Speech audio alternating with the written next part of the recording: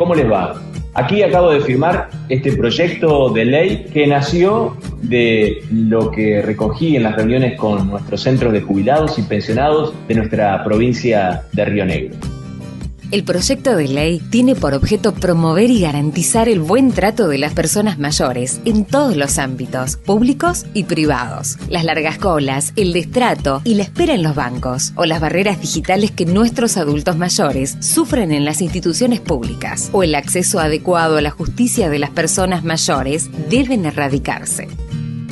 Quiero contarles además también que este proyecto no va a quedar aquí en el debate en el Senado solamente, sino que lo voy a distribuir por todo el país para que lo enriquezcan, para que hagan sus aportes, para que presenten sus alternativas y hacer la mejor ley posible para cada una y cada uno de ustedes.